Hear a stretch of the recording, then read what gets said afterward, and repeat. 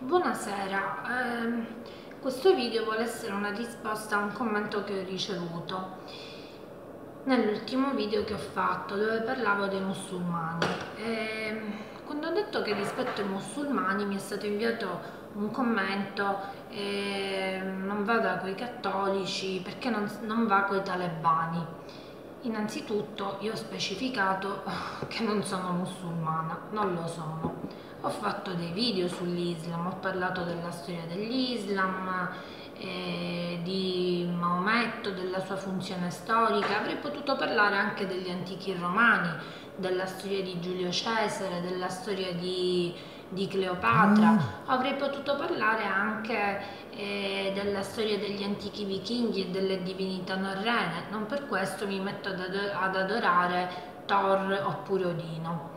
Eh, la differenza è che con i musulmani eh, l'Islam fa parte delle cosiddette religioni abramitiche, che significa che Islam, cristianesimo ed ebraismo derivano tutte da un unico progenitore, Abramo.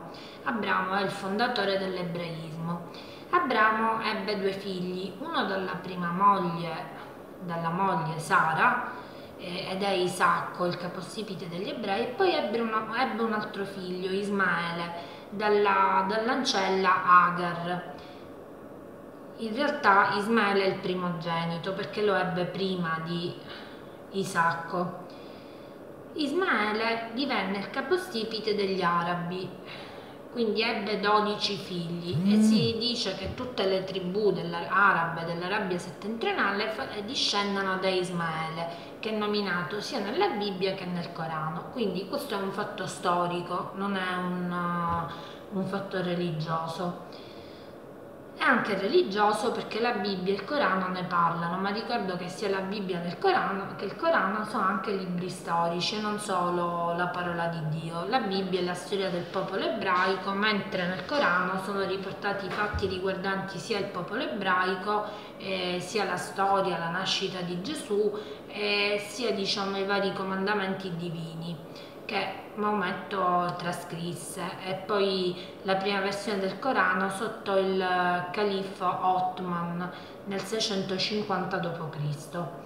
Bene, premesso questo, eh, il fatto di averne parlato, io riconosco che tutte e tre le religioni fanno, mm. eh, fanno capo, cioè fanno riferimento ad Abramo come padre della fede. Ora, riconoscere questo che significa? Significa essere islamica? No. Io anzi ho detto che non comprendo l'Islam radicale, mentre sono d'accordo con una visione moderata dell'Islam. Non sono islamica, sono propendo oh, per i testimoni di Geova. Questa è la Bibbia dei testimoni di Geova, traduzione del Nuovo Mondo delle Sacre Scritture che io leggo tutti i giorni regolarmente perché io sono convinta che qua vi siano le profezie che riguardano i nostri giorni. Sorgerà fratello contro fratello, l'amore dei più si raffredderà, quindi sono tutte profezie che in questi giorni si stanno realizzando, già lo vedo attraverso i commenti. Chi è il mio Dio? Mi è stato detto che il suo Dio la benedica, il mio Dio è Geova, il suo nome è la traduzione dall'ebraico Yahweh. Dio si presentò a Mosè sul Sinai, io sono colui che sono.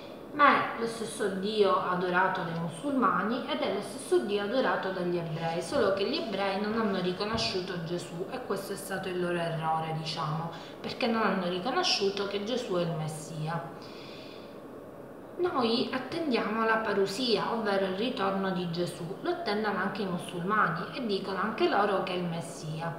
Quindi vi sono dei punti in comune, ma eh, non bisogna disprezzarli, perché se si disprezzano gli altri, disprezzare il fratello eh, significa non avere parte nel regno di Dio.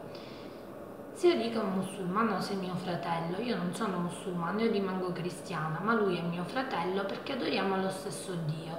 Un cattolico non è mio fratello perché è un idolatra. Quindi questa è la mm. realtà idolatra nel senso che venera, adora Padre Pio, adora la Madonna, adora le creature e non il creatore. Quindi questa è una puntualizzazione che intendevo fare. E non sono talebana, non sono musulmana, non porto il velo, anche se ho tagliato i capelli, ho già spiegato perché. Leggo la Bibbia tutti i giorni, almeno un versetto, e, ehm, penso che la vita cristiana sia questo, cioè prepararsi a quello che eh, sono le profezie bibliche. Stiamo vivendo negli ultimi giorni. Eh, per chi eh, volesse sapere, eh, faccio riferimento al capitolo 12 e 13 dell'Apocalisse e il capitolo 24 di Matteo, lì del Vangelo di Matteo, lì sono scritte le profezie bibliche, quelle che si stanno realizzando in questi giorni e già i mm. commenti si vedono, dai commenti che ricevo si vedono che l'amore dei più si raffredderà ed è ciò che sta avvenendo. Quindi eh, io non sono musulmana, ripeto, simpatizzo con i testimoni. Per me l'Islam è stata una religione fondata da Maometto che, come ho detto, ha avuto il merito di diffondere il monoteismo tra i pagani. Questo è tutto, perché erano pagani, la maggior parte delle tribù arabe erano politeiste e pagane. Quindi il paganesimo è idolatria, come dice anche l'Apostolo Paolo, Paolo di Tarso, non sacrificate agli idoli, eh, quindi anche nel, nel, nella Bibbia si condanna l'idolatria e il paganesimo. Cosa disse Dio a Mosè? Non avrai altri dei all'infuori di me. Quindi eh, testimoni di Geova e musulmani sono le religioni più vicine a Dio. Con questo è tutto, vi saluto.